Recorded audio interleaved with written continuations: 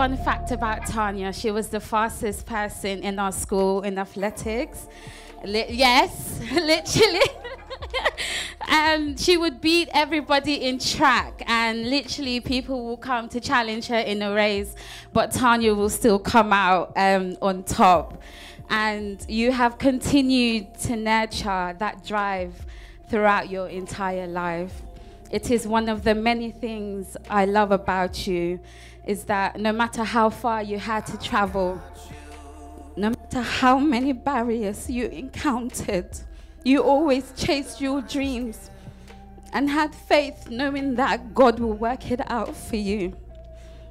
Tanya, you're a true definition of beauty, elegance, intelligence, and grace.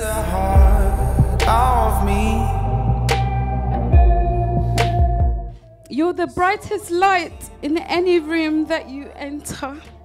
You uplift others, you're selfless, and are a beautiful soul to be around. One of my favorite things about you is the way that you care for others. You always know the right things to say. You make people feel valued, and you always show up and you show out for your loved ones.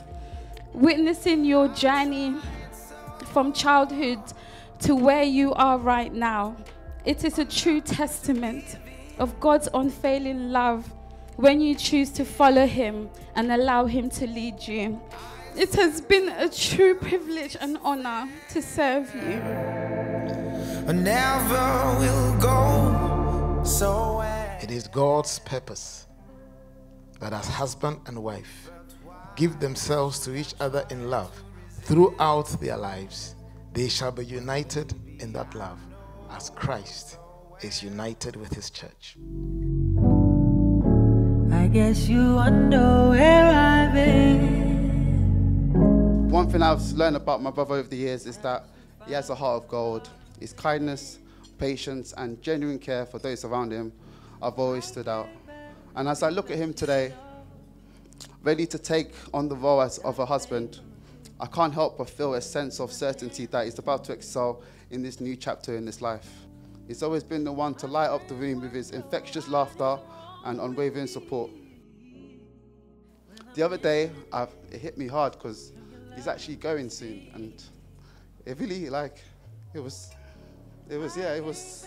I didn't want to like show him that I was upset. Like I, my voice got a bit croaky. I don't know if you heard that. I asked him. I was like, "You're going in a couple of days," and then afterwards, I just went upstairs. I was like, "Okay, I got this. I got this. I'm gonna miss you so much. Thank you for everything. Thank you, Tanya, for making him the amazing husband he is." What you won't do, do for love.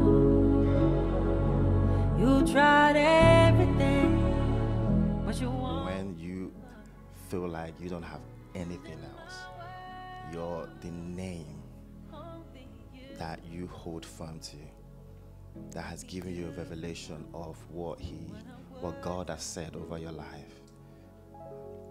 That is one thing you can always hold on to. You know, and I can wholeheartedly say that throughout my life, you know, I've been very fortunate and one thing I would always say is I can definitely know that God is with me. When things don't even make sense, even when I didn't know what was up and was down. Even when I was not sure and I'm trying to figure things out my own way, I always hear that confirmation that says, Why are you worrying about things when you know that all you need to do is just focus on me?